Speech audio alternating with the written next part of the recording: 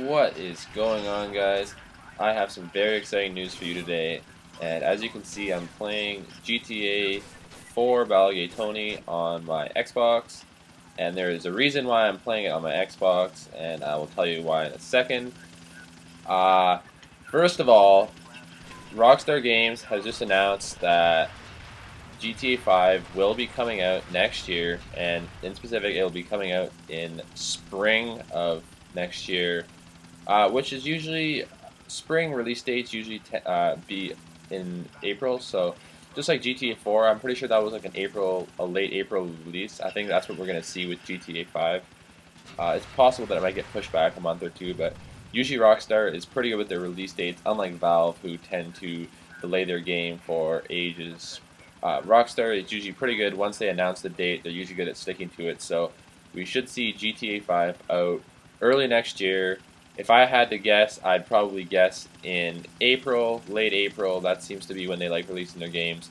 But uh, the second piece of big news is that it is only coming out for PlayStation 3 and Xbox 360. So once again, they have screwed over PC players.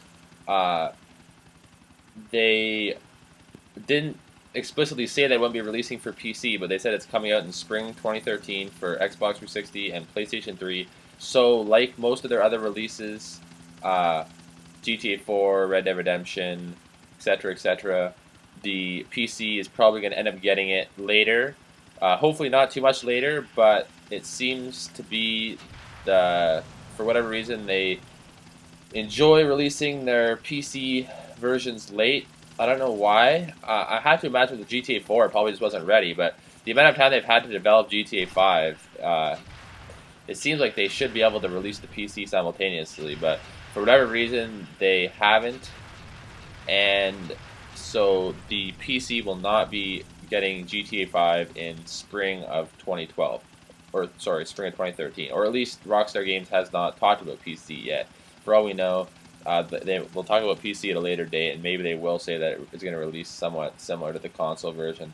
But I decided to play my Xbox version of GTA 4 today because GTA 5 is going to be exclusive to Xbox and PS3 for the time being.